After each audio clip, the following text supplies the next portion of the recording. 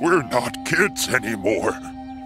Maybe it's for the better. No one wants to stay a child forever. Remember the wonderful times we've had.